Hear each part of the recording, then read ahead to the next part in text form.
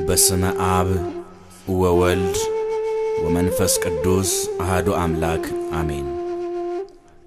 በመላው ኢትዮጵያና ከኢትዮጵያም ውጪ በተለያዩ ክፍል ዓለማት የምትኖሩ የልዑል እግዚአብሔር ቤተሰቦች የእመቤታችን የቅድስት ድንግል ማርያም ወዳጆች በያላችሁበት የእግዚአብሔር ሰላም ከእናንተ ጋር ይሁን።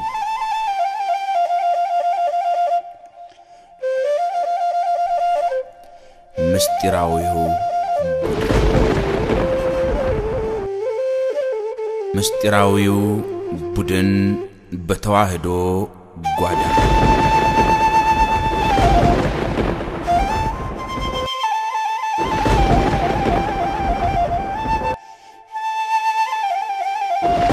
እንደኔ ከበላ እንደኔ ከጠጣ እንደኔ ከሞተ እንደኔ ከተሰቀለ ለምንድን ነው ማመልከው? እኔም ትንሽ አምላክ ነኝ። አምላክን በሰው መስፈርት መለካት አይቻልም።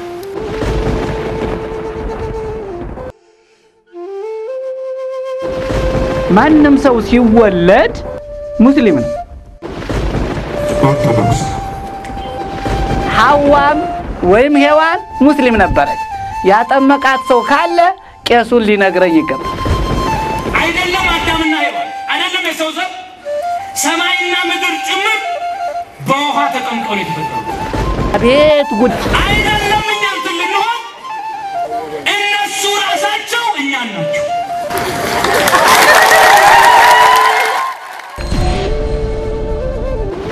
ዓለምን ለማዳን ለምን መሰቀል አስፈለገው? ለምን የከብት በረት ላይ መወለድ አስፈለገው? እዛው ሆኖ ሁሉን ነገር ማድረግ እንደተባለው ይችላል እኮ በእውነት ይችላል።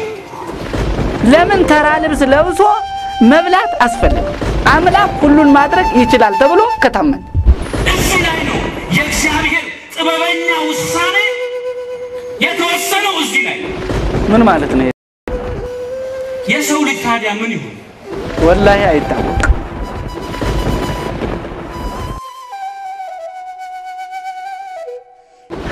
ክርስቶስ ስለ ራሱ ሲናገር አንድም ቦታ ላይ እኔ አምላክ ነኝ፣ እኔ ፈጣሪ ነኝ፣ ለእኔ ስገዱልኝ አላለ። ክርስቶስ አይደለም አምላክ ተብሎ መጠራትን ቸር ተብሎ መጠራትን እንኳን ተቃውሟል። ትሉኛላችሁ። አዎ እንዲሁ ነኝና እኛን ለማሳበር ነው።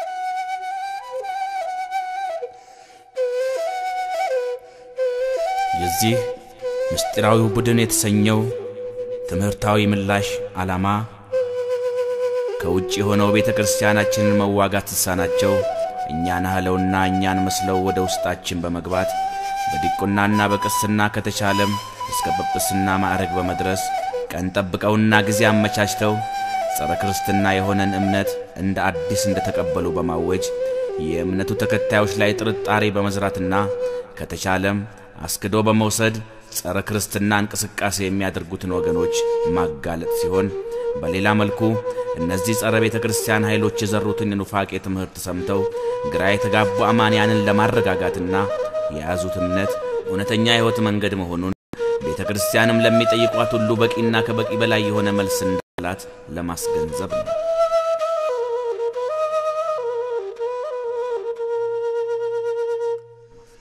ከዚህ በፊት እንደገለጽ ነው አንድ ሰው የፈለገውን እምነት እንዲያምንና ያመነበትን እምነት እንዲከተል ሕገ መንግሥታዊም ሆነ ሕገ እግዚአብሔራዊ ነጻነት እንዳለው ቢታወቅም የራስን እምነት በነጻነት ማራመድ ያወቁትን ለራስ እምነት ተከታዮች ማሳወቅ የተቻለ የሌላውን እምነት ማንቋሸሽና ማጥላላት መለኮታዊ የሆኑትን ቅዱሳት መጻሕፍትን መንቀፍ አማንያኑን መዝለፍ ተገቢ ነው ብለን አናምንም። በተለይም የኦርቶዶክስን doctrine ሃይማኖተ አበው በተባለው መጽሐፍ ላይ ቁጭ ብሏል። እዚያ ላይ የሌለ ምሳሌ የለም፣ ያልተነገረ ነገር የለም። ግን በቋንቋ ስለማይሆን ዓለም እስካሁን ድረስ ባለበት ሥላሴን ስንት ሰው አውቆት ነው በሥላሴ የሚያምን? አብ ወልድ መንፈስ ቅዱስ የሚባል ስም ተጠርቷልና ይኸው ሥላሴ ነው ብሎ መንገብገባ አይደለም። ኢስላም አያካብድም። የዮሐንስ ጸበል ይባላል፣ የገብርኤል ጸበል ይባላል፣ የማርያም ጸበል ይባላል። የብዙ ሰዎች በብዙ ሰዎች ወይም ጻድቃን በተባሉ ሰዎች የተሰየሙ ጸበሎች አሉ። እኔ እነዚያን ስጠጣቸው ከውሃነት ስሜት ውጭ አይሰሙም። ክርስቶስ ፍጡር ፈጣሪ ራሱን የቻላል። አንድ ሰው ኢየሱስ ክርስቶስ አምላክ አይደለም ብሎ ማስተማር አንድ በደል ኢየሱስ ክርስቶስ አምላክ ነው ብሎ መልስ አለመስጠት ደግሞ ሌላ በደል ነው። ስለዚህ ሰው ለተጠየቀው ጥያቄ መልስ መስጠት አለበት።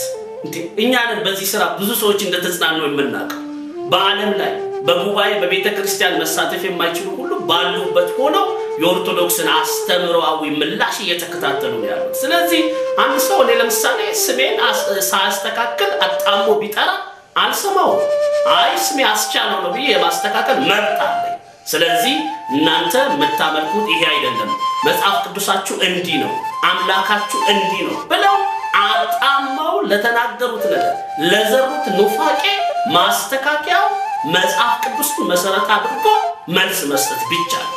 ስለዚህ መምህር ምረትአብ አንድና አንድ ያደረጉት ይሄንን ነው። በእውነት ምላሹን ሁላችሁም እንድትከታተሉ እንጋብዛለን።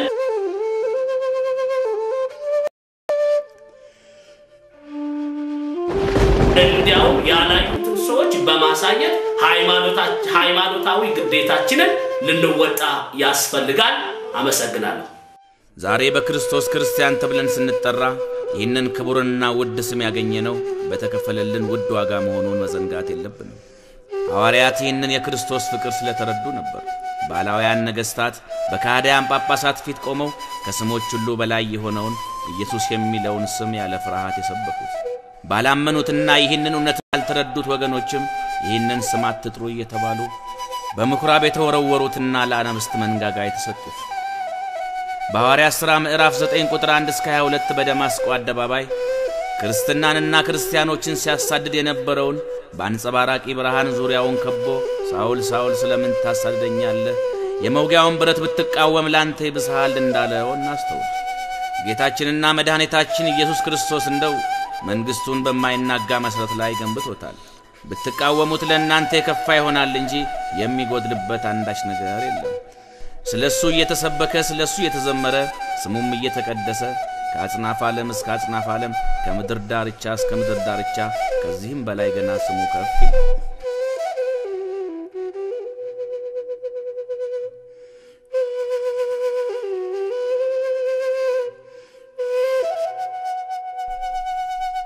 እስቲ አስተውሉ። ታላቁ እስክንድር ዓለምን እገዛለሁ ብሎ ተነሳ፣ አልቻለም፣ ወደቀ። ጦረኛው ናፖሊዮንም ዓለምን እገዛለሁ ብሎ ተነሳ፣ አልቻለም፣ ወደቀ። ሌሎችም ታላላቅ የዓለማችን ሰዎች ዓለምን እንገዛለን ብለው ተነሱ፣ ወደቁ። ክርስቶስ ግን ተነሳ፣ አልወደቀም። መንግሥቱን በፍቅር ላይ መስቶታልና ነው። ማንም ሰው ሲወለድ መኖርን ዓላማ አድርጎ ይወለዳል። አምላካችን ኢየሱስ ክርስቶስ ግን መሞትን ዓላማ አድርጎ ተወለደ። እርሱ ካልሞተ ሕይወት የለምና። ማንም የሚወደውን መውደድ አቅቶት በሚቸገርበት ዓለም እርሱ ግን ጠላቶቹን ወዶ ሞተ። በብዕር ጫፍ ሳይሆን በደሙ ቀለምነት ስማችንን ጻፈልን። ስለዚህ ዓለም በአራት ነጥብ ምዕራፏ እስኪዘጋ ድረስ እናየዋለን። ስለዚህ ዓለም በአራት ነጥብ ምዕራፏ እስኪዘጋ እንሰብከዋለን። ጌትነቱንና አምላክነቱን እናውጃለን። አዳኝነቱንም እናወራለን። እርቃኑን ውሎ ሲያለብሰን ያላፈረብንን ጌታ በሰው ሁሉ ፊት ሆነን ሳናፍር እንመሰክርለታለን። ይህ እውነት የተጋረደባቸው ወገኖች እስኪገባቸውና እኛ በተነካንበት የክርስቶስ ፍቅር ልባቸው እስኪነካ በመድገምና በመደጋገም እናወራለን፣ እንሰብካለን። ስለዚህ ለሁለቱ ካሊዶችና ለመሰሎቻቸው በሐዋርያት ሥራ ምዕራፍ 5 ቁጥር 38 እስከ 39 ላይ ታዋቂው የሕግ መምህር ገማልያል ከእግዚአብሔር ከሆኑ ክርስቲያኖችን ልታጠፉ አትችሉም፣ ምናልባት ከእግዚአብሔር ስትጣሉ እንዳትገኙ በማለት ለጸረ ክርስትና ኃይሎች እንደተናገረ እናንተም የክርስትናን እምነት ስትቃወሙ ከእግዚአብሔር ጋር እንዳትጣሉ ተጠንቀቁ። እኛ እንደሆነ አንድን የባሕር ዛፍ ከስሩ ሲቆርጡት በብዛት እንደሚያቆጠቁጥ በተቃወማችሁን ቁጥር እንበዛ እንበረታ ይሆናል እንጂ በእናንተ የማደናገሪያና ያለ እውቀትና ያለ መረዳት በሚነገሩ ሐሳቦች የምንነዳ አይደለም። ተባልበሰ አደባባዮቹ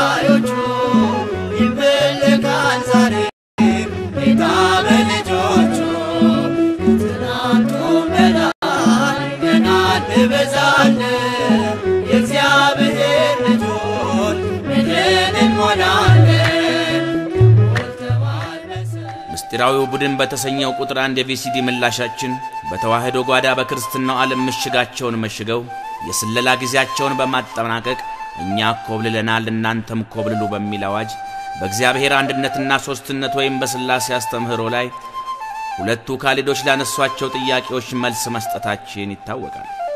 ዛሬ ደግሞ ባለፈው ጊዜ በገባንላችሁ ቃል መሠረት ነቢያት ይወርዳል ይወለዳል ብለው ትንቢት በትንቢቱ ቀጠሮ መሠረት በቤተልሔም ዋሻ ከመቤታችን ከቅድስት ድንግል ማርያም የተወለደውን ኋላም ስለ ሰው ልጆች ፍቅር በዕፅ የሞተውን የሰውን ልጅ በዕፅ ላይ ተሰቅሎ ወደ ጨለማ መቃብር ወርዶ ወደ ብርሃን ሰገነት ያወጣውን የዓለም መድኃኒት የጽድቅ ፀሐይ ኢየሱስ ክርስቶስን በተመለከተ ለሚያነሷቸው ጥያቄዎች መልስ እንሰጣለን።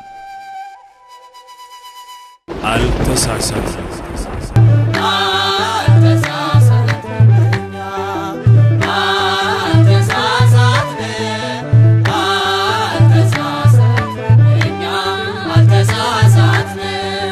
ከሰማይ ሰማይ እግዚአብሔር ወረደ፣ ከድንግል ማርያም ብንል ተወለደ። በማይመረምር የተዋህዶ ምስጢር ዓለምን ለማዳን ሰው ሆኗል እግዚአብሔር።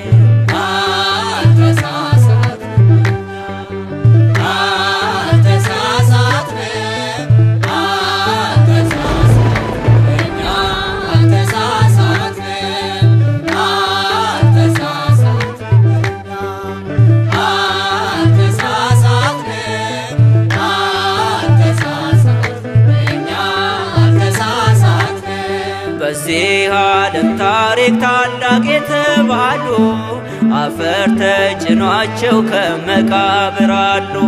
የእኛ ግን ኢየሱስ ያመለክ ነው ጌታ ተነስቷል ከሙታን ባዶ ነው ጎልጎታ።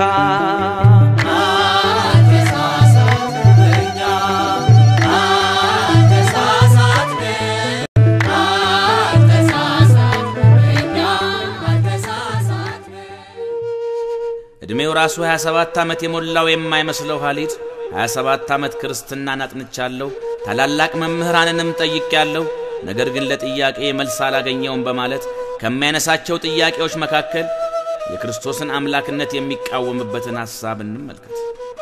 አሁን እዚያ ላይ ስታዩ አንቀጸ ብፁዓን ላይ ማቴዎስ ወንጌል ምዕራፍ ጀምሮ ማንበብ ይቻላል።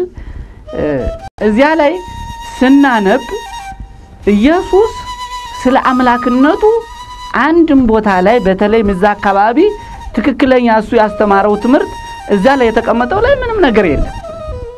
ስለ አምላክነቱ የሚገልጽ ነገር የለም። በማቴዎስ ወንጌል ከምዕራፍ አምስት እስከ ምዕራፍ ስምንት ለምን አልተናገረም አምላክ ነኝ ብሎ ነው። በመሰረቱ መጽሐፍ ቅዱስ ማለት የማቴዎስ ወንጌል ከምዕራፍ አምስት እስከ ምዕራፍ ሰባት መጨረሻ ድረስ አይደለም። መጽሐፍ ቅዱስ ማለት ከኦሪት ዘፍጥረት ከምዕራፍ አንድ እስከ ዮሐንስ ራእይ መጨረሻ ድረስ ነው። ያም ቢሆን ከነ ትርጓሜው የላይ ቤት የታች ቤት አንድምታው ተተርጉሞ ከላይ ርዕሱ ከታች ህዳጉ መሰረታዊ ሀሳቡ ተጠንቶ የሚነገር ነው እንጂ ሶስት ምዕራፎችን ብቻ ወስዶ ክርስቶስ ስለ አምላክነቱ አልተናገረም ማለት አይቻልም። ለምሳሌ አንድ ሰው አሁን ባህር ዳር ከተማን ያለ ነው። ከባህር ዳር ይነሳል። ከዚህ አዲስ አበባ ስንት ኪሎ ሜትር ነው? አምስት መቶ ስልሳ አምስት ተሳፈረ። ሀያ ሆነን ተሳፈር። አንዱ አምስት ኪሎ ሜትር ብቻ ሄደና ወረደ። እኛ ሀያ አስራ ዘጠኛችን ደግሞ ከተማውን በሙሉ እያየን አዲስ አበባ ደረስን። ይሄ አምስት ኪሎ ሜትር ብቻ ሄዶ የወረደው ተጓዥ በመንገድ ላይ የገጠመን የገጠመን እያለ ከእኛ እኩል ማውራት ይችላል? ለምን ወራጅ አለ ብሎ ያለ ቦታው ስለወረደ። በደንብ ግን ስለ ስለ ጉዞ ማውራት አብሮ መጓዝ አለ። አንድ ሰው መጽሐፍ ቅዱስ ላይ የማቴዎስ ወንጌል ምዕራፍ አምስት ላይ ተሳፈረ፣ ወደ ተራራ ወጣ። ከዛ ምዕራፍ ስምንት ላይ ከተራራ ወረደ። ምዕራፍ ዘጠኝ የለ፣ ምዕራፍ አስር የለ፣ ማርቆስ የለ፣ ሉቃስ የለ፣ ዮሐንስ የለ፣ ሌሎች መጽሐፍት የሉ። እነዚህን ሳያነብ ክርስቶስ ስለ አምላክነቱ አልተናገረም ማለት ሞኝነት ነው። ወይንም እናቅለው በዘመኑ ቋንቋ አንድ ሰው መንገድ ሲሄድ ጎራ ይላል የሆነ ቦታ እግር ኳስ ኢትዮጵያና የሆነች ሀገር ሲጫወቱ ደቡብ አፍሪካ ቤቱ ሙሉ ነው። መንገድ ሲሄድ ድንገት የኳስ ድምፅ ሰማ። ውይ ወይ አንዴ ልይ አለ። ደቂቃው ስንተኛ ደቂቃ ላይ ነው? አምስተኛ ደቂቃ ላይ አምስተኛ ደቂቃ ላይ ደቡብ አፍሪካ ኢትዮጵያን አንድ ለዜሮ እየመራች ነው። ስምንተኛ ደቂቃ ላይ ተበሳጭቶ ወጣ። እኛ ሙሉን ጨርሰን ዘጠና ደቂቃ አልቆ የባከነ ተጨምሮ ሰላሳ ደቂቃም ተጨምሮ ብቻ ሶስት ለአንድ አሸነፍ። ምሳሌ ነው፣ አላሸነፍም። ሶስት ለአንድ አሸነፍ። ሶስት ለአንድ ስናሸንፍ ምን ይላል? እሱ አልሰማማ። ወይ ጉድ! ኢትዮጵያ እኮ ማታ አንድ ለዜሮ ተሸነፈች። ስንት ደቂቃ ጀምሮ ስንት ላይ ስለጨረሰ? አምስት ጀምሮ ስምንት ላይ ሙሉን እውቀት እንዲኖረው ሙሉን ጨዋታ ማየት አለበት።? አንድ ሰው ስለ መጽሐፍ ቅዱስ ለመናገር ሙሉውን ሀሳብ መጽሐፍ ቅዱስ ማንበብና መርዳት አለበት። የማቴዎስ ወንጌል ምዕራፍ አምስት እስከ ስምንት የሚያወራው ክርስቶስ ስለ ስነ ምግባር ትምህርት ያስተማረው ነው። ስለ አምላክነቱ አይደለም። የስነ ምግባር ትምህርት ነው። ዓለም በጨዋነት ብቻዋን ጎብጣ ስለነበረ ዓለምን ያስተካከለበት የስነ ምግባር ትምህርት ነው። አንቀጸ ብፁዓን ነው። ቀኝ ለመታ ግራህን ስጥ፣ አንድ ምዕራፍ ትሄድ ሁለት ላስገደደ ሁለት ምዕራፍ ሂድለት። ክፉን በክፉ አታሸንፍ፣ ክፉን በመልካም አሸንፍ፣ በሰው ላይ አትፍረድ፣ ምጽዋት ስጥ፣ ለተራበ አብላ የሚል ነው። የስነ ምግባር ትምህርት ነው። የሚያስታርቁ ብፁዓን ናቸው ብሎ የሰበከበት የተራራው ስብከት ነው። ይህንን ብዙ ሰዎች ወስደው ተጠቅመውበታል። ለምሳሌ የህንዱ መሪ ሞሐንዲስ ኬ ጋንዲ በአንድ ወቅት ህንዶች በእንግሊዝ ቀኝ ግዛት ስር ነበሩ። እንግሊዞች ገለዋቸዋል፣ ግፍ አድርሰውባቸዋል። በቀኝ ግዛት ነፃ ወጡ። ነፃ ሲወጡ እኛም በተራችን ብለው እንግሊዞችን መግደል ጀመሩ። ህንዶች ምንም እንኳን የክርስትና እምነት ተከታይ ባይሆኑ ሞሐንዲስ ኬ ጋንዲ የጦር አዛዡን ጠርተው ለምን ትገሏቸዋላችሁ አለ። አይ መጽሐፍ ቅዱስ እኮ ዓይንም ስለ ዓይን ጥርስም ስለ ጥርስ ይላል። ስለዚህ ብድር መመለስ አለብን አሉ። ሞሐንዲስ ኬ ጋንዲ ምን አሉ? ዓይንን ስለ ዓይን ከመለስን ዓለምን አይነ ስውር እናደርጋታለን አሉ። ይህንን የመጽሐፍ ቅዱስ ክፍል ወስደው የዓለም የሀገር መሪዎች፣ ታላላቅ ሰዎች፣ ፖለቲከኞች ሁሉ ተጠቅመውበታል። እንዲያውም በአንድ ጽሑፋቸው ላይ ለአንድ ለብሪታንያ ባለስልጣን ሲጽፉ የኔም ሆነ የእናንተ ሀገር ህዝቦች ክርስቶስ በዛ ተራራ ላይ ያስተማረውን ትምህርት ተግባራዊ ቢያደርጉ የሁለት ሀገር ችግር ብቻ ሳይሆን የዓለም ችግር ሊፈታ ይችላል ብለዋል።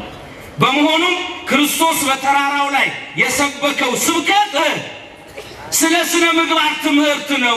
ሶስት ምዕራፍ ብቻ ወስዶ ክርስቶስ ስለ አምላክነቱ አልተናገረም ብሎ ማስረጃ ማቅረብ አይቻልም።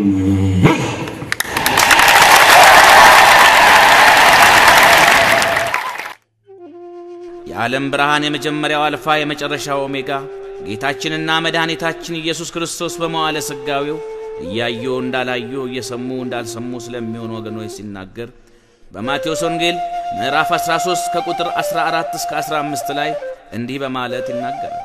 መስማት ትሰማላችሁና አታስተውሉም፣ ማየትም ታያላችሁና አትመለከቱም።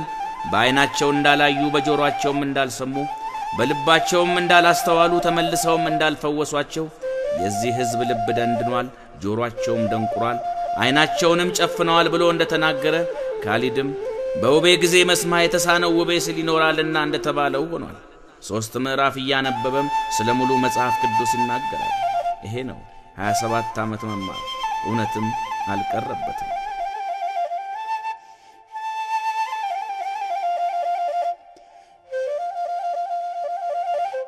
ከኢየሱስ ክርስቶስ አምላክነትና ጌትነት ጋር በተያያዘ ካሊድ ማኅተቤን ለመበጠሴ ኢየሱስ ክርስቶስን አምላክ አይደለም ብዬ ለመኮብለሌ ትልቁ ምክንያት የሆነኝ አንድ ነገር አለ ይላል።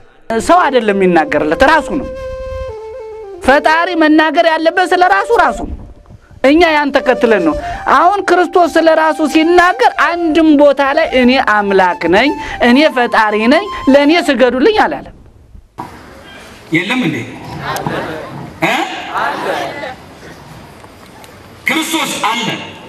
የማቴዎስ ወንጌል ምዕራፍ አራት ቁጥር ስድስት እስከ ሰባት ላይ ማቴዎስ አራት ቁጥር ስድስት እስከ ሰባት ላይ ዲያብሎስ ኢየሱስ ክርስቶስን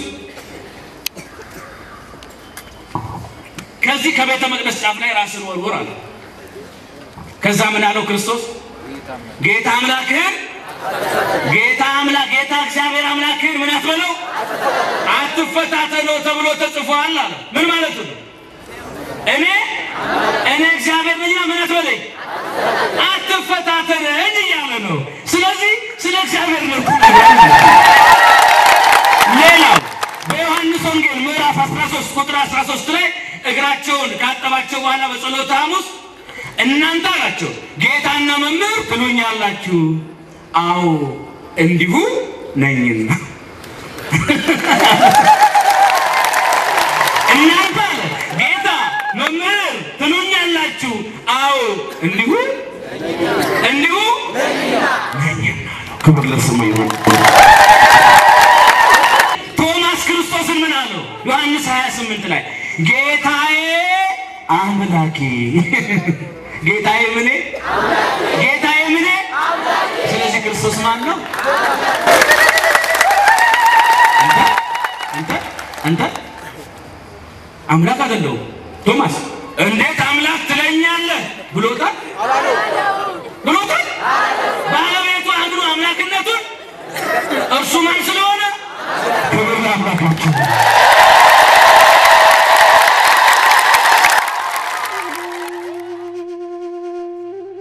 ቤተ ክርስቲያንን ለማጥፋት ሥራዬ ብለው ከሚንቀሳቀሱትና ጸረ ክርስትና ትምህርት በማስተማር ማተብ ለማስበጠስ ከተደራጁት ምስጢራዊ የጸረ ክርስትና አራማጆች መካከል አንዱ የሆነውና ብርሃናዊው ጎዳና በማለት ቤተ ክርስቲያንን ጥዬ ያመንኩበትን ክርስቶስን ክጄ ሄጃለሁ የሚለው የትናንቱ ክርስቲያን ነኝ የዛሬው ዳኢ ካሊድ ክብሮምም በኢየሱስ ክርስቶስ ላይ የሚከተለውን ጥያቄ ያነሳል። አንድ ፈሪሳዊ ክርስቶስ ለተለያዩ ሰዎች ለሚያነሱ ጥያቄ ምላሽ እንደሰጣቸው ጥሩ አድርጎ እንደመለሰላቸው አየና what is the first commandment ከሕግ ሁሉ ፊተኛይቱ የመጀመሪያዊቱ ትእዛዝ ምንድን ናት ብሎ ወደ ክርስቶስ ጠየቀው። ክርስቶስም የአላህ ስብሐነ ወተዓላ ሰላም በእሱ ላይ ይስፈንበትና እንዲህ በማለት መለሰለት፣ እስራኤል ስማ ጌታ አምላካችን አንድ ጌታ ነው ሲል ነገረው። ስለዚህ ከሕግ ሁሉ ፊተኛይቱ ሕግ ከትእዛዝ ሁሉ ፊተኛይቱ ትእዛዝ ፈጣሪ አንድና ብቸኛ መሆኑን አምኖ መቀበል ነው። ይህ ጌታ ይህ አንድ ብቸኛ አምላክ ደግሞ የክርስቶስን አምላክ መሆኑን ነው ክርስቶስ በማርቆስ ወንጌል ምዕራፍ 12 ከቁጥር 28 እስከ 29 ያጸደቀው። ምክንያቱም ለሕዝበ እስራኤል ምን ነበር ያላቸው? እስራኤሎች ስማ ጌታ አምላካችሁ አይደለም ያለው፣ ጌታ አምላካችን አንድ ጌታ ነው ያለው። ስለዚህ የክርስቶስ መልእክት ሰዎች አንድና ብቸኛ የሆነውን በህልውናው የሚሆን በአምላክነቱ አህዳዊ የሆነውን አምላክ እንዲያመልኩ ነበር ሲያስተምራቸው እዚህ ላይ እኮ ክርስቶስ የተናገረው እስራኤል ሆይ ስማ፣ እስራኤል ሆይ ስማ፣ አምላካችን እግዚአብሔር አንድ ነው ያለው እርሱ አምላክ ኖሮት አምላክ እግዚአብሔር አንድ ነው ማለት ነው።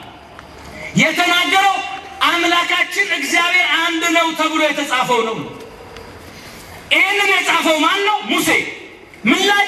በኦሪት ዘጸአት ምዕራፍ ስድስት ከቁጥር አራት እስከ አምስት ላይ ሙሴ ምን ብሎ ጻፈ? እስራኤል ሆይ ስማ አምላካችን እግዚአብሔር አንድ ነው አለ። ያንን ሙሴ የተናገረውን ኢየሱስ ክርስቶስ ምን አለ? ከትእዛዛት የትኛው ትቀድማለች ብሎ ሲጠይቀው ከትእዛዛትማ የምትቀድመው አለ።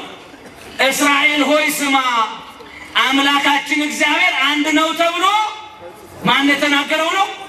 ሙሴ የተናገረው ነው ነው ያለው።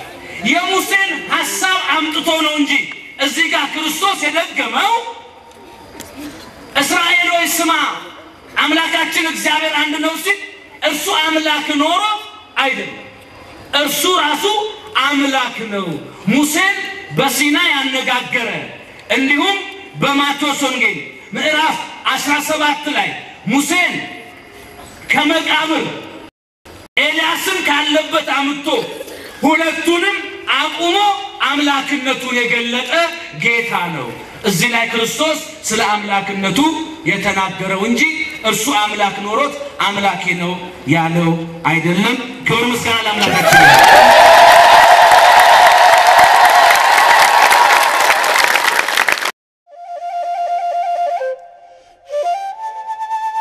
የመጽሐፍ ቅዱስን እውነት በትክክል ካለመረዳትና ተረድቶም ወደ እውነት ባለመምጣት ኢየሱስ አምላክ አይደለም ለማለት የሚከተለውን ጥቅስ ይጠቅሳል። O good master what shall I do to get the eternal life ቸር መምህር ሆይ ወደ ህይወት እገባ ዘንድ ዘላለማዊውን ገነትን እጎናጸፍ ዘንድ ምን እንዳደርግ ትወዳለህ ብሎ ጠየቀው። ክርስቶስም የአላህ سبحانه وتعالى ሰላም በሱ ላይ ይስፈንበትና Jesus replied ኢየሱስም እንዲህ ብሎ መለሰለት Why call me the good master ስለምን ቸር ትለኛለህ? There is no a good master except the one God ከአንዱ ከእግዚአብሔር በስተቀር ቸር የለም ማለት ብላ ክርስቶስ አይደለም አምላክ ተብሎ መጠራትን ቸር ተብሎ መጠራትን እንኳን ተቃውሟል። በመጀመሪያ ቸር የማን ስም ነው ነው? ቸር የማን ስም ነው? የእግዚአብሔር ስም ነው። መዝሙር 135 ቁጥር አንድ ላይ እንዲህ ይላል፣ እግዚአብሔርን አመስግኑ ቸር አልሰማሁም። እግዚአብሔርን አመስግኑ ምንድን ነውና? ቸር የማን ስም ነው? የእግዚአብሔር ስም ነው። አሁን ይሄ ሰውዬ ደግሞ መጣና ቸር መምህር ሆይ አለው። ይሄ ስም ቸር ለእግዚአብሔር የሚሰጥ ነው። እሱ ደግሞ መጣና ኢየሱስ ክርስቶስን ቸር መምህር ሆይ አለው። ቸር ለእግዚአብሔር የሚሰጥ መጠሪያ ነው። ይሄ ሰውዬ ግን ለኢየሱስ ክርስቶስ ሰጠው። ለምን? ኢየሱስ ክርስቶስን እንደ ፍጡር ቆጥሮ ኢየሱስ እግዚአብሔር መሆኑን ስላላወቀ ኢየሱስ እግዚአብሔር መሆኑን ስላልተረዳና ስላልተገነዘበ ቸር መምህር ሆይ አለ። ስለዚህ ኢየሱስ ደግሞ የልቡን አወቀ። ስለምን ቸር ትለኛለህ? ከአንዱ ከእግዚአብሔር በቀር ቸር የለም። ለምን? ይሄ ሰውዬ ኢየሱስን አምላክ ወይም እግዚአብሔር ነው ብሎ ሳይሆን ቸር ነው እያለ ያለው ምንድን ነው ብሎ ነው? ፍጡር ነው ብሎ ነው እያለ ያለው። ክርስቶስ ደግሞ የልቡን አወቀ። ይሄ ሰውዬ እኮ ቸር እያለኝ ያለው አምላክነቴን አምኖ አይደለም፣ ፈጣሪነቴን እግዚአብሔርነቴን አውቆ ሳይሆን እንደ ፍጡር ቆጥሮኝ ቸር እያለኝ ነው አለ። እንዴት አወቀ? ኢየሱስ በሰው ልብ ውስጥ ያለውን ልብ ያሰበውን ኩላሊት ያጤሰውንና ያመላለሰውን ማንም ሰው ሳይነግረው የሚያውቅ አምላክ ስለሆነ በመጽሐፍ ቅዱስ እኔ ዮሐንስ ሁለት ቁጥር 24 እስከ 25 ድረስ እንዲህ ይላል በወንጌሉ። ታምራቱን አይተው ብዙዎች ሲያምኑ ይላል። እርሱ ጌታችንና መድኃኒታችን ኢየሱስ ክርስቶስ ግን አያምናቸውም ነበር ሁሉን እያንዳንዱን ያውቀዋልና የሰውንም ግብሩን ሊነግሩት አይሻም። እርሱ በሰው ልብ ውስጥ ምን እንዳለ ያውቅ ነበርና ይላል። ማን? ኢየሱስ ክርስቶስ። ተአምራቱን አይተው ሲገረሙ እሱ ግን አይተማመንባቸው። ለምን? በልባቸው ውስጥ ያለውን ያውቃል። ሰው ስለ ሰው እንዲነግረውም አይሻም። በማን ልብ ውስጥ ምን እንዳለ አምላካችን ያውቃል። ማን ያውቃል? እግዚአብሔር ኢየሱስ ክርስቶስ ሁሉን አዋቂ ነው በሉኝ። አልሰማሁም? ሁሉን ምንድን ነው በእያንዳንዱ ልብ ውስጥ ያለውን ማን ያውቃል? እግዚአብሔር ኢየሱስ ክርስቶስ ያውቃል። አንድ ልብ በሉ ያውቃል። በሰው ልብ ውስጥ ያለውን ማወቅ ብቻ አይደለም። በባህር ልብ ውስጥ ያለውን በባህር ልብ ውስጥ ያሉት ፍጥረታት በውስጣቸው ምን እንዳለም ጭምር ያውቃል የማቴዎስ ወንጌል ምዕራፍ 17 ቁጥር 24 እስከ 27 ወደ ቅፍርናሆምም በገቡ ጊዜ ይላል መምህራችሁ ስለምን ግብር አይገብርም? ብለው ጴጥሮስን ጠየቁት። ወደ ቤቱም በገቡ ጊዜ ጴጥሮስን ጠራውና ነገስታት ግብር የሚሰበስቡት ከእንግዶች ከባዕዳን ነው ወይስ ከራሳቸው አገር ዜጎች ከልጆቻቸው አለው እሱማ ከእንግዶች ነው አለ እንግዲያስ ልጆቻቸው ነፃ ናቸው አለ። አዎ። ስለዚህ ነፃ ነን ማለት ነው? አዎ። አይመለከተንም ማለት ነው? አዎ። ጥሩ ነፃ ነን፣ ግን እንዳይሰናከሉብን ወደ ባህር ሂድ አለው። ወደ ባህር ስትሄድ አሳውን አውጣው አለው። አሳውን ካወጣ በኋላ አፉን ክፈተው አለው። ወደ ሆዱም ግባ አለው። ሁለት ስታቴር ታገኛለህ አለው። ሁለት ስታቴር ማለት በእኛ አንዱ ሁለት ብር ነው። የዛሬ ሁለት ብር ዋጋ ያጣው ሳይሆን በደንብ ጥሩ ነገር ሊገዛ የሚችለው ሁለት ብር የድሮ። ስለዚህ ሁለት ስታቴር ታገኛለህ አለው። እሺ አምጣና አንዱን በእኔ ስም አንዱን በአንተ ስም ሂድና አለ። ኢየሱስ ቅድም በሰው ልብ ያለውን ያውቃል። አሁን ደግሞ በአሳ ሆድ ውስጥ ያለውን አውቋል። በመሆኑም አምላካችን ኢየሱስ ክርስቶስ የተሰወረውን ነገር ማወቅ የሚችል እውቀት የባህሪው የሆነ አምላክ ነው። ክብር ይግባው ለዚህ ጌታ። አልሰማሁም።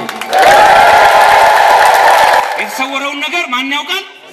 እግዚአብሔር ኢየሱስ ክርስቶስ ያውቃል። ጥሩ ስለሚያውቅ ይሄ ቸር መምህር ባዩ ቸር መምህር ሆይ ቸር መምህር ሆይ እያለ ወደሱ ሲመጣ በልቡ ውስጥ ያለውን አወቀ። ይሄ ሰውዬ እኮ ቸር እያለኝ ያለው ፍጡር መስዬው ነው። ነገር ግን ይሄ ሰውዬ ቸር ማለት ያለበት እንደ ፍጡር ቆጥሮኝ ሳይሆን እንደ ፈጣሪ ቆጥሮኝ መሆን አለበት አለ። እንደ ፈጣሪ ቆጥሮኝ ቸር ማለት አለበት ብሎ ስለምን ቸር ትለኛለህ? ከአንዱ ከእግዚአብሔር በቀር ምን የለም፣ ቸር የለም። አምላክነቴን ሳታምን እንደ ፍጡር ቆጥረህ ቸር እያልክ ነውና አምላክነቴን አምነህ እግዚአብሔርነቴን ተቀብለህ ምን በለኝ ምን በለኝ ቸር በለኝ። በልብህ እንደ ፍጡር አስበህ ቸር እንዳትል፣ በልብህ አምላክ ነው ብለህ ቸር በል። ቸር ዝም ብሎ ለተራ ሰው የሚሰጥ ስም አይደለም። አንተ ግን እንደ ተራ ሰው ቆጥረህ ቸር እያልክ ነው። ይሄ ቸር የሚለው መጠሪያ ግን እግዚአብሔርነቴን አምነህ አምላክነቴን አምነህ ከሶስቱ ቅዱስ አንዱ ቅዱስ ከሶስቱ አካል አንዱ አካል ከአብና ከመንፈስ ቅዱስ ጋር እኩል አምልኮ የሚቀርብልኝ አምላክ መሆኔን ከብርሃን የተገኘው ብርሃን ከእውነተኛ አምላክ የተገኘው እውነተኛ አምላክ መሆኔን አምነህ ቸር በለኝ ማለቱ ነው። ክብር ለስሙ ይሁን።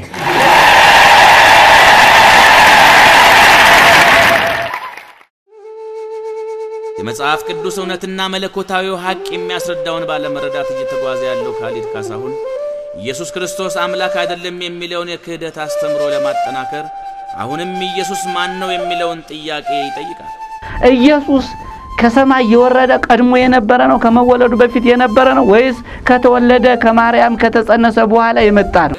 ይሄን ጥያቄ ዮሐንስ 8 58 ላይ አይሁድ ኢየሱስን ጠይቀውታል። አንተ ማነህ ብለው አንተ ማነህ አሉት ኢየሱስ ክርስቶስን። አይሁድ አንተ ማነህ ብለው ሲጠይቁት አብርሃም አለ እኔን ያይ ዘንድ ወደደ አየም ጽድቅም ሆኖ ተቆጠረለት ሲል እንዴ አንተ ሀምሳ ዓመት ያልሞላህ እንደው አብርሃምን አይቻለሁ ስትል አታፍርም?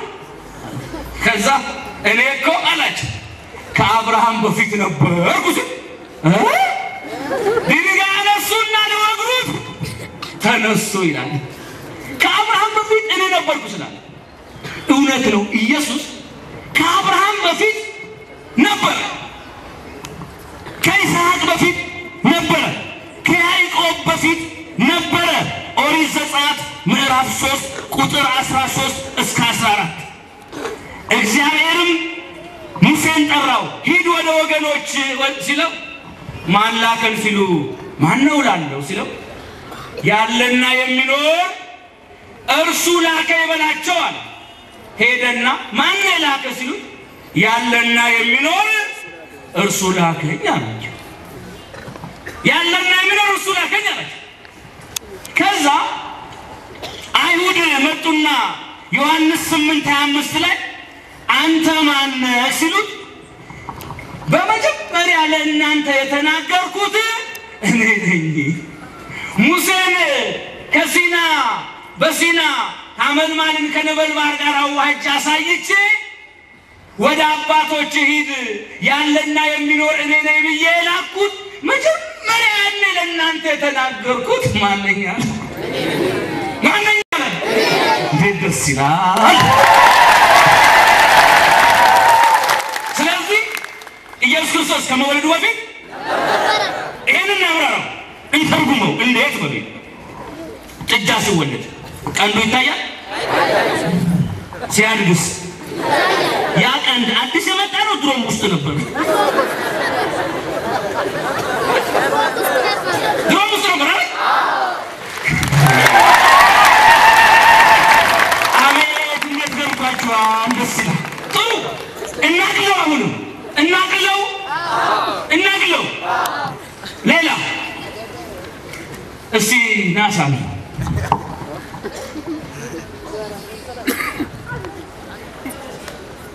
ናሳ ነው ቆይ አይ ልመታው ነው። በዚህ በኩል ላሳያችሁ ነው። ናኑ ልሰገድ፣ ናኑ ልሰገድ። ቆይ እንግዲህ ላሳያችሁ ነው። እናቅለው ብዬ ነው። እዛ ሁሉ እንታያችሁ ነው። ልሰገድ ለወንዶች፣ ሳሚ ለሴቶች ነው የመጣው። ልዑል ሰገድ፣ መምህር ልዑል ሰገድ። አሁን መታውት። ማን መታ? ዶሌ አንተ። በምን መታው? በእጅ። ስለዚህ ማን መታ? አንተ። በምን? በእጅ። ሳሚ ይኸው መታውት። ማን መታ? መታው። በምን? በእጁ። በምን የመታውት? በእጅግ። በእጅ። ስለዚህ ማን መታ? ምረታ። በምን? በእጁ። እጁ እጄ ሲመታ ከአንተ ተለይ ከኔ ተለይቷል? አልተለየም።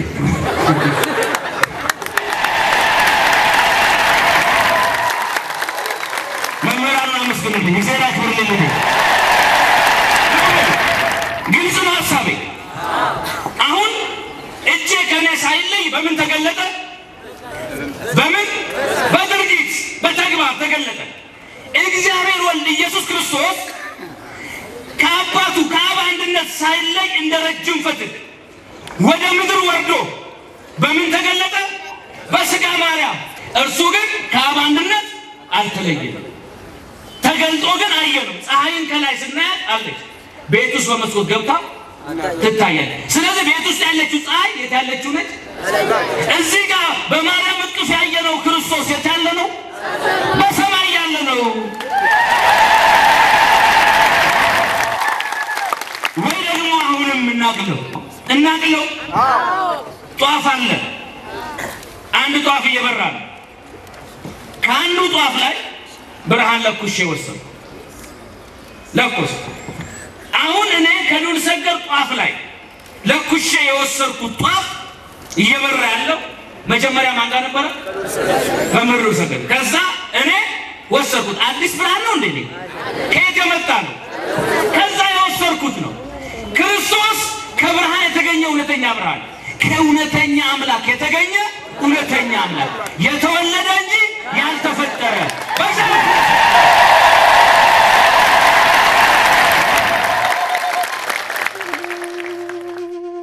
ለሙሴ ከመገለጡ ጊዜ አንስቶ ያለና የሚኖር እኔ ነኝ በማለትና እኔ ያለሁ በሚለው ስም እንዲጠሩት የነገራቸው እርሱ እግዚአብሔር እንደሆነ ከአብርሃም በፊት እንደነበረ አስተማራቸው። ስለዚህ ኢየሱስ ክርስቶስ ስለ ራሱ ከመለሰው ውጪ መመለስ ስለማይገባ መልሱ ይሄው ነው። ምክንያቱም ፍጡር ያለና የሚኖር እኔ ነኝ ሁሌም ምን ያለሁ ማለት አይችልምና ነው። ማንም ይህንን እውነት አልቀበል ብሎ እኔነትን ቢመኝ ግን እንደ ሳጥናኤልና እንደ ናቡከደነጾር አወዳደቁ ይከፋል።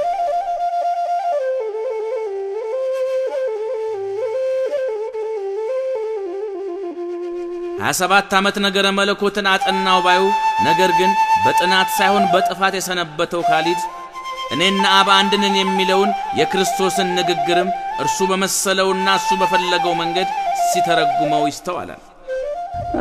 ዮሐንስ ወንጌል ምዕራፍ 14 ላይ እኔና አብ አንድ ይላል። ምን ማለት ነው ታዲያ? አንድ መሪ ልበል ወይም ኦባማ አንድ መልእክተኛ ወደ ኢትዮጵያ ይላክ። ያ መልእክት ይዞ መጣ። ስለ ኦባማ እንዲህ ብሏል፣ እንዲህ ብሏል፣ እንዲህ ብሏል እያለ ያስረዳል። ሲያስረዳ አይ እራሱ ያን የላክ ኦባማ የምትለውን አሳየንና ይበቃናል ቢለው አይ እኔና እሱ አንድ ነን፣ እኔ እሱ ነው ልኮኝ የመጣሁ የእኔ ቃል ማለት የእሱ ቃል ነው። እሱን ግን ማየት ስለማትችል እኔን አየ ማለት እሱን አየ ማለት ነው ብሎ ቢያስረዳው ኦባማና ያ ሰውዬ አንድ ናቸው ማለት ነው። እኔና አብ አንድ ነን የሚለው ዮሐንስ 14 10 ላይ አይደለም ያለው። እኔና አብ አንድ ነን አይልም እዛ ላይ። እኔን ያየ አብን አየ ነው የሚለው እዛ ላይ። እኔና አብ አንድ ነን የሚለው የዮሐንስ ወንጌል ምዕራፍ 10 ቁጥር 34 ላይ ነው ያለው። እኔና አብ አንድ ነን ይላል። ቆይ እንግዲህ ጉድ እኮ ነው። ይሄን ተርጉሙ። እኔና አብ አንድ ነን ሲል አይሁድ መጡ። ድንጋይ ድንጋይ እዛው ላይ አንብቡት። ድንጋይ ይዘው መጡ። ክርስቶስ ስለ የትኛው ስራዬ ነው የምትወግሩኝ? ሙት ስለማንሳቴ፣ ድውይ ስለመፈወሴ፣ ለምጻም ስለማንጻቴ፣ የተራበ ስለማብላቴ፣ ስለ የትኛው ነው የምትደበድቡኝ አላቸው። አይ ስለ መልካም ስራህማ አንወግርህም። እኛ አንተን የምንወግረው ሰው ስትሆን ራስህን አምላክ ስለማድረግህ ነው ማለት ሰው ስትሆን ራስህን ምን አደረገው? እኔና አብ ነን ማለት ለአይሁድ ትርጉሙ ገብቷቸዋል። ምንድን ነው ማለቱ ነው? አምላክ ነኝ ማለቱ ስለሆነ እኛ የምንወግር ሰው ስትሆን ራስህን ምን አረግ? እኔና አብ ነን ማለት አይሁድ እኮ ገብቷቸዋል። እነ ካሊድ ናቸው እንጂ አልገባቸው አይሁድ አይሁድ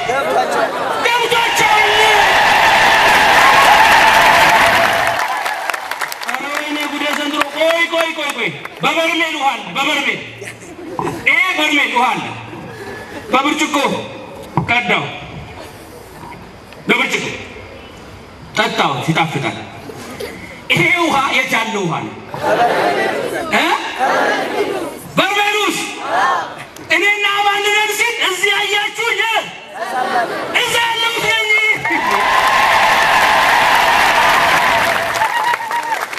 እኔና አብ አንድ ነን ማለት ምን ማለት? አንድነት በአገዛዝ በስልጣን በመለኮት። እኔና አንድ ነን። በስም በግብር በአካል አብ ወልድ መንፈስ ቅዱስ ብለን ብንጠራ አብ ወላዲ ወልድ ተወላዲ መንፈስ ቅዱስ ሰራጺ ብለን ብንናገርም ምንም ላጠይቁ አካላት ሶስት ብንልም አንድ አምላክ በሶስት አካል ሶስት አካል ያለው አንድ እግዚአብሔር። አንድ እግዚአብሔር በሶስት አካል። አንድ አምላክ በሶስት አካል። ሶስት አካል ያለው አንድ መለኮት። አንድ እግዚአብሔር ሶስት አካል። ዛፉ ሊውጥ ከላይ ምን አለ? መሀል ላይ። ከስር። ሶስት ዛፍ ይባላል። ስንት ዛፍ? ስንት ነገር ያለው?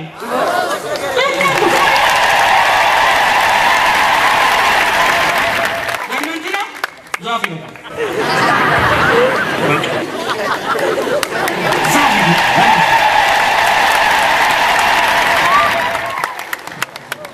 አይሁድ የገባውን አልገባኝም ማለት ግን አይሁድ ማነስ ነው።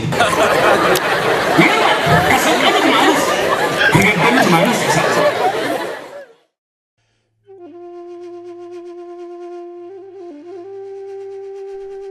ካሊድ ካሳውን አሁንም ይቀጥላል።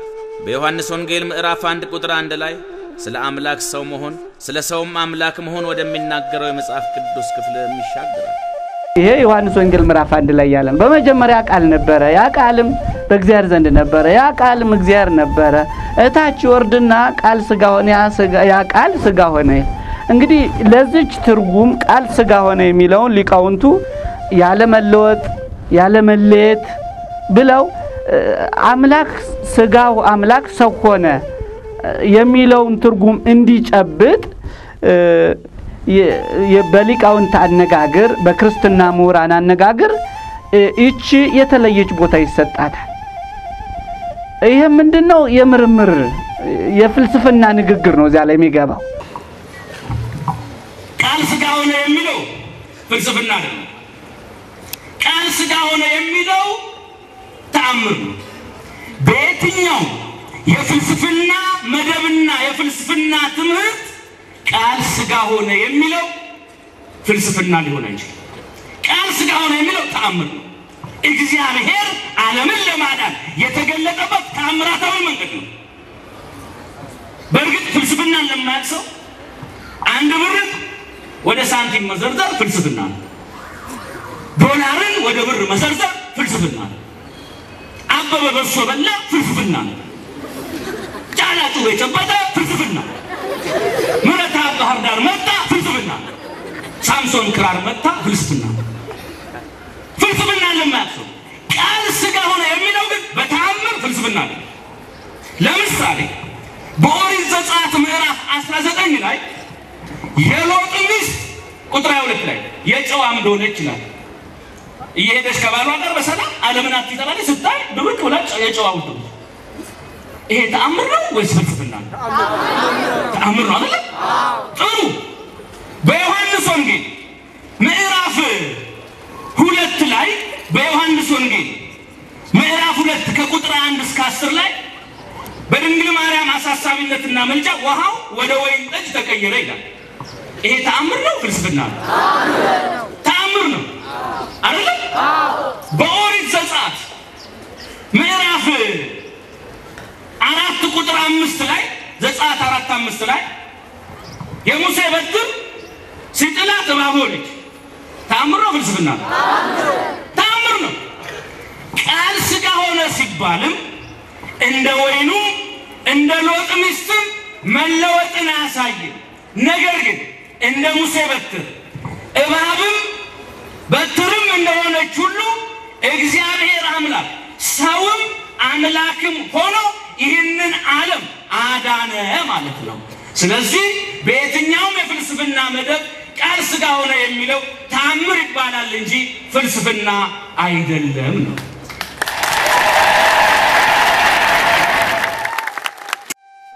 ካሊድ ያለ መለየት፣ ያለ መለወጥ፣ ያለ መቀላቀል ማለት የፍልስፍና ንግግር አይደለም። ያለ መለወጥ ማለት ከላይ እንዳየነው እንደ ወይኑም እንደ ሎጥ ሚስትም መለወጥን አያሳይም። ነገር ግን ቅዱስ ቄርሎስ እንደተናገረው ቃል ሥጋ ሆነ ሲባል ቃል ተለውጦ ሥጋ ሆነ ማለት አይደለም። ሥጋም ወደ አምላክነት ተለወጠ ማለት አይደለም። ነገር ግን በማይመረመር የተዋህዶ ምስጢር የቃል ሀብት ለሥጋ የሥጋም ሀብት ለቃል ሆነ ማለት ነው እንጂ እንዳለ ያለ መለየት ማለት ደግሞ በሥጋ ማርያም የተገለጠው እግዚአብሔር ወልድ ከአብ አንድነት ሳይለይ እንደ ረጅም ፈትል ከሰማያት ሰማያት መውረዱን ለመግለጽና ለማስረዳት ነው። በሌላ አገላለጽ አንድ ሁነት ብቻውን ያለ ሌላው ሁነት እርምጃ አለመውሰዱን ለመግለጽ ነው። ልጅ ጦር ሜዳ ሆኖ በአስቸጋሪ ሁኔታም ውስጥ ከአባቱ እንደሚገናኝ ሁሉ ኢየሱስ ክርስቶስም ከአብ አንድነት አልተለየምና ነው። ያለ መቀላቀል ማለት ደግሞ አምላክነቱና ትስብእቱ ያለ መቀላቀልና ያለ መለዋወጥ ያለ መከፋፈልና ያለ መለያየት ማለት ነው። በመሆኑም ካሌድ 27 ዓመት ኖርኩበት ያልከውን ክርስትናን ያኔ ስላልገባህ አሁን እንዲገባህ ቀጥሎም እንዲገባህ ምኞቴ ነው። የቀድሞ አባ ወልደ ሥላሴ የአሁኑ ካሊድ ካሳሁን ቃል ሥጋ ሆነ የሚለውን የመጽሐፍ ቅዱስ ቃል እንዴት እንደተረዳውና እንደተረጎመው አሁንም አብረን እንመልከት። ለምሳሌ እኔ እኔ ውስጥ ከመናገሬ በውስ በፊት ስለ አንድ ነገር አስባለሁ። አሁን ልናገር ሳስብ ያ በኋላ ላይ የምናገረው ንግግሬ ቃሌ በእኔ ውስጥ ነው ያለ። ከተናገርኩት በኋላ ያ ከኔ ጋር የነበረው ቃል ተነገረ፣ ሰው ሰማው። አሁን ያ ቃል በመጀመሪያ የፈጣሪ ንግግር ወይም ቃል በፈጣሪ ውስጥ ነበር፣ በሐሳብ ማለት ነው። ያ ሐሳብ ፈጣሪ ሲናገረው ለምሳሌ ማርያም ወይም መርየም እንድትጸንሰው ኢየሱስን እንድትወልደው ኩን ፈኩን ይሁን ሲል ያን ቃል ሲናገር ወዲያው በፈጣሪ በአላህ ቃል በአላህ ቃል ወዲያው ምን ሆነ? ወዲያው ተጸነሰ። ሌላ ብዙ ውጣ ውረድ የለው። ቃል የእግዚአብሔር ቃል ስንል እኛ የእግዚአብሔር ቃል ማለት እኛ እንደምንናገረው አይነት ዝሉ ቃል ሳይሆን የእግዚአብሔር ወልድ ሌላኛ መጠሪያ ስሙ የእግዚአብሔር ቃል ማለት በቅድም የነበረ ዓለምን የፈጠረው እግዚአብሔር ወልድ ማለታችን። የእግዚአብሔር ቃል ማለት የእግዚአብሔር ወልድ ሌላኛ መጠሪያ ስሙ ነው። እግዚአብሔር ቃል ራሱ እግዚአብሔር ነው። ይህን በማስረጃ እንመለከት። ይህን በመጽሐፍ ቅዱስ እንዲህ ነው የሚለው ዮሐንስ አንድ ቁጥር አንድ ላይ በመጀመሪያ ቃል ነበረ ይላል። በመጀመሪያ ምን ነበረ? አቤት ደስ ስትሉ። በመጀመሪያ ምን ነበረ? መቼ? ምን ነበረ? ነበረ ነው ነበረ ደግሞ ነበረ ነበረ ነበረ ነበረ ነበረ። ቃል ቃልም በእግዚአብሔር ዘንድ ነበረ። ያም ቃል እግዚአብሔር ነበረ። ያም ቃል ማን ነበረ? ጉድ እኮ ነው። ያም ቃል ማን ነበረ? ቃል ራሱ ማን ነው? ያም ቃል እግዚአብሔር ነበረ አለና አንድ አስራ አራት ላይ ያ እግዚአብሔር የነበረው ቃል ምን ሆነ? ምን ሆነ? በድንግል ማርያም ማኅፀን ምን ሆነ? በድንግል ማርያም ማኅፀን ስጋ ሆነ ማለት ስጋ ወደ አምላክነት ተቀየረ ማለት ሳይሆን ወይ ደግሞ ቃል ወደ ስጋነት ተቀየረ ማለት ሳይሆን የቃል ሀብት ለስጋ የስጋ ሀብት ለቃል ሆነ ብሎ ቅዱስ ቄርሎስ እንደተናገረው ያ የማይጨበጠው ተጨበጠ፣ የማይዳሰው ተዳሰ፣ የማይወሰነው ተወሰነ፣ የማይሞተው የሚሞት ስጋን ገንዘቡ አደረገ፣ የማይደክመው የሚደክም ስጋን ገንዘቡ አደረገ። በድንግል ማርያም ማኅፀን ቃል ምን ሆነ? በመጀመሪያ እግዚአብሔር የነበረው ቃል ራሱ ቃል ምን ሆነ? ስጋ ሆነ። ይሄንን ዮሐንስ በራእዩ በሚገርማችሁ ሁኔታ እንዴት አድርጎ እንዳስቀመጠው የዮሐንስ ራእይ ምዕራፍ 19 ቁጥር እ 11 ላይ የሚገርም ነገር ተናግሯል። 19 አንድ ሰማይ ተከፍቶ አየው አለ። ሰማይ ተከፍቶ አየው፣ እነሆም አለ አምባ ላይ ፈረስ የተቀመጠበትም የታመነና እውነተኛ ይባላል፣ በጽድቅ ይፈርዳል ይዋጋልም፣ ዓይኖቹም እንደ እሳት ነበልባል ናቸው። በራሱ ላይም ብዙ ዘውዶች አሉ።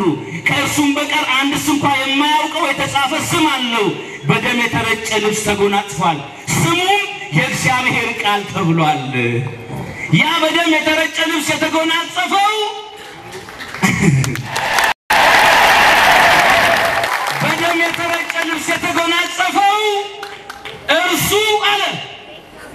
የማን ቃል ተብሏል? ኢየሱስ ክርስቶስ የማን ቃል ተብሏል? የእግዚአብሔር ቃል ተብሏል። ያ የእግዚአብሔር ቃል የተባለው ኢየሱስ ክርስቶስ ራሱ ማን ነው? እግዚአብሔር ነው። በመሆኑ የእግዚአብሔር ቃል ስንል ቃል ሥጋ ሆነ ስንል እኛ እንደምናገረው ሳይሆን የእግዚአብሔር ቃል ማለት ዓለም የተፈጠረበት የእግዚአብሔር ወልድ ሌላኛ መጠሪያ ስሙ ነው ነው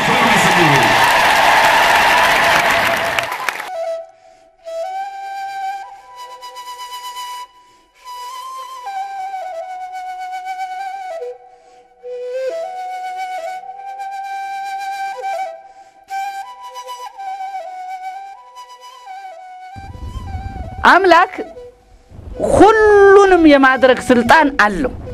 ይህን ዓለም ሁሉ ያምናል። ታዲያ ለምን መውረድ አስፈለገ? ዓለምን ለማዳን መሬት ላይ መውረድ ለምን አስፈለገ?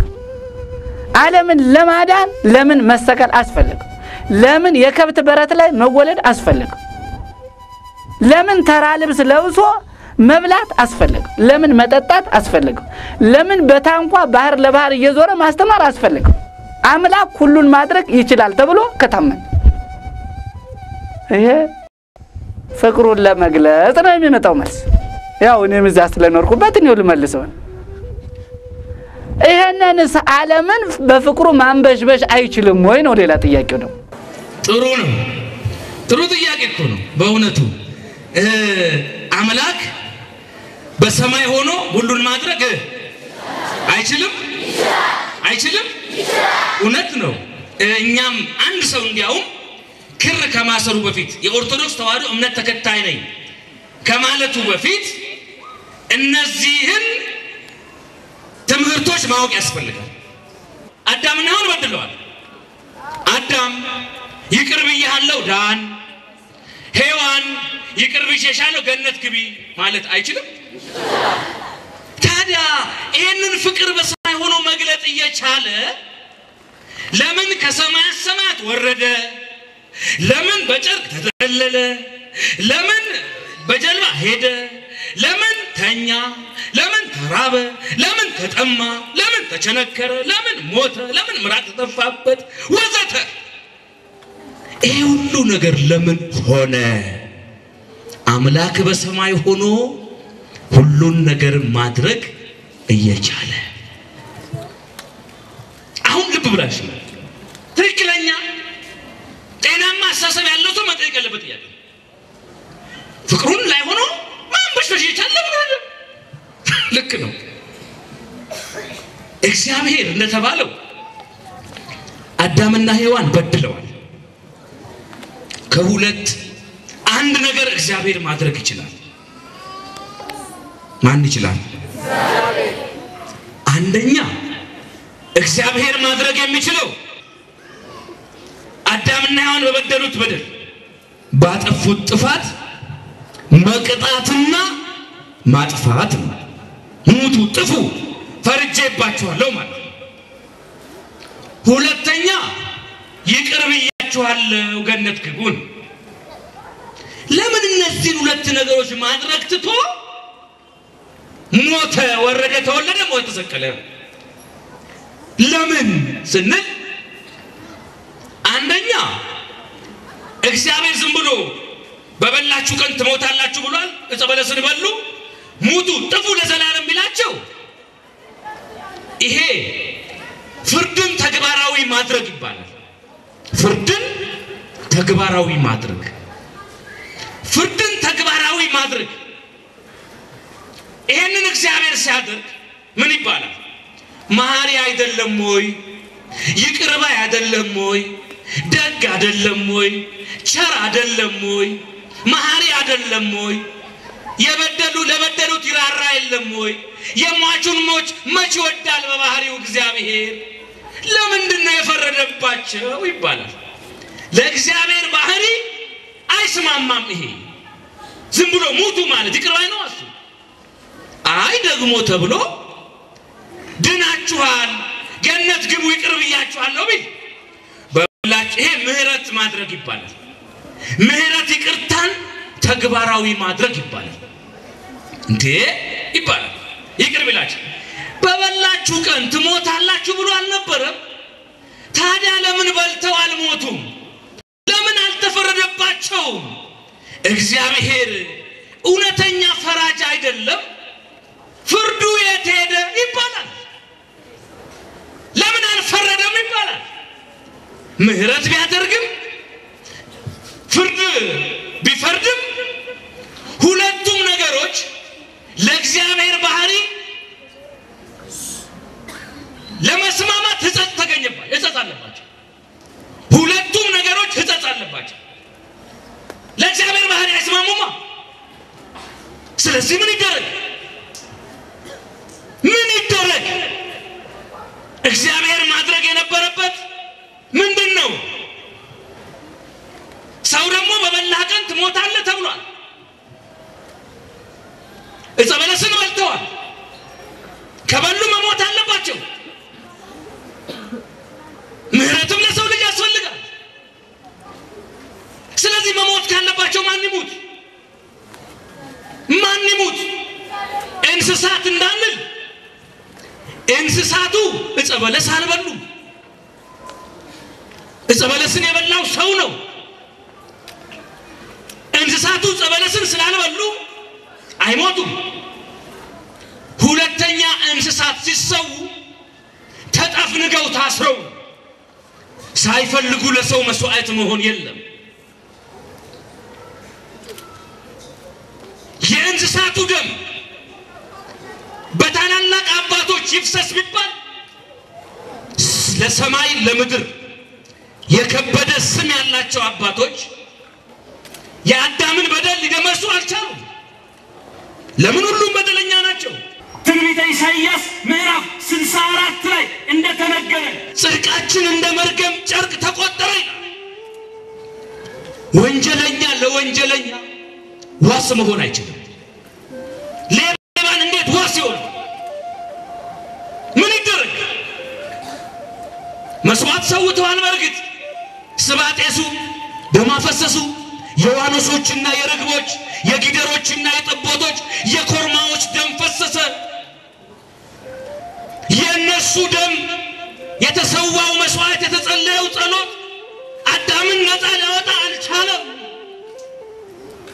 ስለዚህ ማንም ንጹሕ ሰው ጠፋ እኛን ነፃ የሚያወጣ አይ መላእክት ለሰው ሞተው ሰውን ነፃ ያውጡት እንዳይባል መላእክት አይደሉም ዕፀ በለስ የበሉት። ደግሞም መላእክት የማይሞቱ ረቂቃን መናፍስት ናቸው። ስለዚህ ማን ይሞትልን? በእኛ ቦታ እግዚአብሔር ይሞት እንዳንል ይሄ ድፍረት ነው። ሞት ለባህሪው አይስማማም። በሰው ልጆች ቦታ ገብቶ ሰውን ማን ያድን? የኔና የእናንተ ሕይወት ገና ከጅምሩ ተበላሽተዋል። ወደ ሞት ዓለም እየሄድን ነው። በዚህ ጊዜ ነበረ የእግዚአብሔር ጥበበኛ ውሳኔ የተላለፈው። እግዚአብሔር ዓለምን ለመፍጠር ከተጠበበበት ትልቅ ጥበብ ይልቅ ሰውን ያዳነበት ትልቅ ነው እንዳሉ አባቶች እኛን ለማዳን ትልቅ ጥበብ ተጠቀመ። ይሄም ጥበብ ፍርድና ምሕረትን ማስማማት፣ በቀራኔው አደባባይ ሁለቱን ማስታረቅ፣ ከሦስቱ ቅዱስ አንዱ ቅዱስ እግዚአብሔር ወልድ ሰዎችን የሚያድንበትን የድህነት መስመር ዘረጋ። እንዴት አድርጎ አስማማው? የዛሬ ሁለት ሺህ ዓመት አካባቢ ሀገር መስፍን ነበረ። ሳሙኤል የሚባል ሶስት መቶ ሺህ ወታደር ይዞ ዘመተ። እናት ሀገሩን ጠላት ወሮ ማለት ነው። ዘመተና በዘመቻው ምሽግ ውስጥ ተሰብስበው እንዳሉ መመሪያ ሰጠ። ሰማችኋል? ዛሬ ሌሊት ሄደን ያቺን ህልውናችን ላይ የመጣችውን ሀገር ልክ አስገብተን እንመጣለን። ተመጣጣኝ እርምጃ አለ።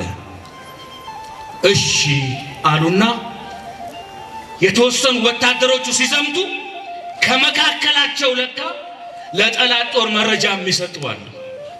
እየመጣን ነው ጠብቁና ግደሉን የሚል መቼም ከወዳጅህ ሺህ ጊዜ ከጠላትህ አንድ ጊዜ ተጠንቀቅ ነው የሚባለው። የወፍ ወንዱ የሰው ሆዱ አይታወቅም። ዛሬ ሲጸለይ ከጠላቴ እኔ እጠነቀቃለሁ ከወዳጄ አንተ ጠብቀኝ ነው የሚባለው። ምክንያቱም የወዳጅ ጠላት ብዙ ነው። በባልንጀራው በሚወደው የተነከሰ ብዙ ሰው አለ። ባንዳዎች ውስጥ ሆነው አሳልፈው ሰጡ። ጠላት ከሩቅ አይመጣም። ሲዘምት መቶ ሺህ ወታደር በአንድ ቀን ገደሉበት። ቦታ ይዘው ጠብቀው አዘነ በጣም። ከዛ እንደገና አለ ተሰብስቡ፣ ዛሬ ሌሊት ሳያስቡት ሄደን ብድራችንን እንመልሳለን። አሁንም ተዘጋጅተው ሳይሄዱ ሄሎ ብለው ነገሩ። በጣም አዘነ። መቶ ሺህ ወታደር አለቀበት። አሁን እጁ ላይ መቶ ሺህ ብቻ ቀረ። ሁለት መቶዎቹ ሞቱ። ሁለት መቶ ሺህ ሰበሰባቸውና ከመካከላችን አለ ለጠላት ጦር ይሄንን መረጃ የሰጠ ከመካከላችን ነውና ከተገኘ እውነቴን ነው የምላችሁ በአደባባይ አንገለውም አለ። ጀርባው እንዲተላና መሳቂያ እንዲሆን መቶ እንገርፈዋለን በመርዛማ ጅራፍ ሰላዮች ተሰማሩ። እንደ ዛሬው እንደ ኬጂቢ እንደ ሞሳድ እንደ ሲአይኤ ወይም በሀገራችን እንዳሉትም ባይሆኑ በዘመኑ ጎበዞች ነበሩን። አሰልለው ማን ለማን ደብዳቤ ጽፎ ምን መረጃ እንደሰጠ እንዴት እንደሆነ ነገሩት። ማን ነው አላቸው። ማን ነው ማን ነው ተገኘ? እውነት ማን ነው? ያሳዝናል። ንገሩኝ፣ ማን ነው? ማን ብትሆን ጥሩ ነው? ስንቅ ልታቀብል አብራው የዘመተች የራሱ እናት እሷ ነች? አዎ። እሷ ነች? አዎ። ያሳዝናል፣ ያሳፍራል። ሶስት ቀን አልበላም አልጠጣም፣ አዘንና ወጣ ከቤቱ አልቅሶ። በሉ እንግዲህ አለ የተናገርኩትን ተናግሬያለሁ፣ ቃሌ ይፈጸማል። ፍርዱን እናቴ ላይ ተግባራዊ አድርጉት፣ አሁኑ ትገረፋልና ፈረደባት። ለእናቱ እንዲህ ከፈረደ እኛም ቢያገኘን ይገነጣጥለናል እንደ ዶሮ አሉና ፈሩ። ከዛ ወዲያውኑ አደባባይ ላይ እናይቱ ቆመች። ትገረፍ፣ ልብሷ አወለቀ ገንዳ ላይ። ገራፊው ትልቅ ቁጣ ትልቅ ጅራፉ ላይ ሽቦ አለ። ሽቦው ላይ ስጋን ብጥስጥስ የሚያደርግ አጥንትን የሚበሳሳ መርዝ አለ። ገራፊው ተነሳና አንድ ሲል ንጉሱ ብሎ ጮኸ። ምን ነው ሲሉ እናቴን ልገርፋት ነው እንዲ አንተ አይደለ እንዲ ያፈረምከው ፈርም ያለው ግን እናቴ ነች እኮ አንተ ፈርመ ፊርማው አይቀርም ግዴታ ነው ተግባራዊ መሆን አለበት ንጉሱ። ያረተው አሉ። እሱማ አውቃለሁ። እና ለምን ጮህ መጮህ አልችልም።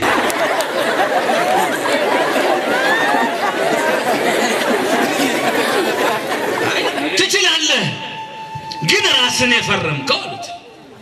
ቢሆንም እናቴ እኮ ነች። አታውቁም አላቸው እሱማ እናትህ ነች። ግን የፈረርከው አንተ ነህ ፈርማል። ፊርማው እንዴት ነው አሉት። አዎ ፈርም ያለው ግን እናቴ ነች አለች። ይገርማቸዋል እናቴ ነች። ሳትማር አስተምራ ሳትጫማ አጫምታ ከሰው በታች ሆና አሁን ላለሁበት ስልጣን ወንበር ደምግባት ያበቃችን እሷ ነች። ከትልቅነቴ በስተጀርባ ያለች ትልቅ የኔ ጀግና አትንኩብኛል እና አትንኩብኝ ስል ግን የኩት ፊርማ ትገረፍ የሚለው ግን እህ፣ እንዴት አሉ እኔ በእሷ ቦታ ገብቼ ልገረፍላት። ይሻላል? አዎ። አዎ አንቺ ልበሽ አላት። ለብሳ ወንበር ላይ ቁጭ አለች። በእሷ ቦታ ገባ። ገራፊ። ንጉሥ ነውና ብለህ እጅህ እንዳይንቀጠቀጥ ደህና አድርገህ ግረፈኝ። ዋ አለዛ ወደ አንተ ይዞራል። እንጀራዬን ከማጣ ገርፎ እንጀራ ነው ጅራፉን አነሳና አንድ ብሎ ሁለት ብሎ መቶ ሲገርፈው ስጋው እንዳለ ተነስቶ አጥንቱ ተቆጠረና በረዶ መስሎታል። ደሙ ፈሶ እንደ ጎርፍ ምድርን አራሳት። በዚህ አደባባይ ፍርድና ምሕረት ተግባራዊ ሆኑ። አስተውሉ። ይቺ እናት በእኔና በእናንተ ትመሰላለች። ንጉሡ ልጇ በኢየሱስ ክርስቶስ ይመሰላል። ልጇ ኢየሱስ ክርስቶስ በእሱ ይመሰላል። ይቺ እናት የተፈረደባት ፍርድ በልጇ ተግባራዊ ሆኗል አልሆነም? ልጇ ሲገረፍ እሷ ምሕረት አግኝታለች አላገኘችም? አዳም ሞት ተፈረደበት። ዳግማዊ አዳም ክርስቶስ ከሦስቱ ቅዱስ አንዱ ቅዱስ እግዚአብሔር ወልድ በተለየ አካሉ ሥጋን ለብሶ መስቀሉን ተሸከመለት። ቀራኔው አደባባይ ድረስ ሄደ። እጆቹን ለሕማም ዘረጋ። ጎኑን በጦር ተወጋ። የዓለም የመጨረሻው ደግ ሰው ክርስቶስና የዓለም የመጨረሻ ክፉ ሰው ፈያታዊ ዘየማንና ፈያታዊ ጸጋም ጥትና ዳክርስ ተቀላቅለው ተሰቀሉ። እሱ ህብስት ባርኮ ሊሰቀል ሲሰጥ ህብስት ሰርቆ ወንበዴው ነፃ ወጣ። ማንም የራሱን በደል ተሸክሞ ሊጠየቅ በማይፈልግበት ዓለም እሱ የሰውን ሁሉ በደል ተሸክሞ ተጠያቂ ሆነ። ማንም ሰው ዛሬ የሚወደውን መውደድ ጠልቶታል። ክርስቶስ የምንጠላውና ወደደን። ሰው ያለውን ሰጥቶ ሲጨበጨብለት እሱ ራሱን ሰጠ። በዕፅ የሞተውን በዕፅ ሊያድን አፍላጋትን ፈጥሮ ሊጠማ ብርሃናትን ፈጥሮ ሊጨልምበት እኛን የጸጋ ልብስ አልብሶ እሱ እርቃኑን ሊውል በዋጋ ሊገዛን በደም ሊገዛን ማንም ከፍሎ ክርስቲያን አልሆነም፣ እኔን ጨምሮ። እኛ ባንከፍል እሱ ዋጋ ከፍሎበታል። ያውም የህይወት ያውም ራሱን። ይሄ ፍቅር ወገኖቼ በምን ይገለጣል? በምንም። ይችን ሰዓት ሰጠን፣ ብርድ ላይ ቁጫል። የተከፈለው ግን ብዙ ነው ለእኛ፣ ያውም የዘላለም። ይህን ፍቅር ሲያስቡት ያ ፍቅር ነው ቁጭ ያደረጋችሁ እኮ ግቢው ሞልቶ እስኪጨናነቅ ይህን ሁሉ የገዛው ያ የቀራኔው ፍቅር ነው። እየወደቀ እየተነሳ በማዕከለ ምድር በቀራኔው አደባባይ ተሰቀለ። እኛ እንዳንጠማ እሱ ተጠማ። ዳር ላይ ቆሞ አዳም የእሱን ስጋ ለብሶ በቦታው የገባው ክርስቶስ ነበርና አዳም ዳር ላይ ቆሞ ምሕረት አገኘ። ትሞታለህ በበላ ቀን የተባለ አዳም ማን ሞተለት? ኢየሱስ ክርስቶስ መድኃኔዓለም ማን ሞተለት? ኢየሱስ ክርስቶስ ሞተለት። ኢየሱስ ክርስቶስ በሱ ቦታ ገብቶ የእሱን ስጋ ለብሶ ሲሞትለት አዳም ዳግማዊው ደግሞ ቀዳማዊ አዳም ዳር ላይ ቆሞ ምን አገኘ? አዳም ምን አገኘ? ከነ ልጆቹ ምን አገኘ? ፍርዱ በማን ላይ ተግባራዊ ሆነ? ስጋችንን ንጹህ ስጋ ንጹህ ደም ከድንግል ማርያም በወሰደው በነሳው ክርስቶስ ላይ ምን ሆነ? ተግባራዊ ሆነ። በቀራኔው አደባባይ ፍርድና ምሕረት እ ተስማሙ በሉኝ። ፍርድና ምሕረት በቀራኔው አደባባይ ፍርድና ምሕረት በቀራኔው አደባባይ ተስማሙ። ስለዚህ አምላክ ሰው የሆነው ለፍርዱም ለምሕረቱም ተገቢውን መልስ ሊሰጥ ነው። ከበርካታ ምክንያቶቻችን አሳማኝ ምክንያቶቻችን መካከል ከብዙዎቹ መካከል ዋነኛው ፍርድና ምሕረቱን በቀራኔው አደባባይ አስማማቸው። አዳምን ምሕረት አገኘ፣ ፍርዱም ደግሞ ስጋውን በለበሰ በዳግማዊ አዳም በክርስቶስ ምን ሆነ? ተፈጸመ በሉኝ። ፍርድና ምሕረት ተስማሙ አልተስማሙ? ስለዚህ አምላክ ወደ ምድር የወረደው የተወለደው በአጭር ቁመት በጠባብ ደረት የተወሰነው የተመላለሰው ያስተማረው የተኛው እንዲያረገው ሁሉን ነገር የሰራው ፍርድና ምሕረቱን ሊያስማማ ነው። ክብር ላዳነን ጌታ ይሁን። ይብቃ እንድንጨምር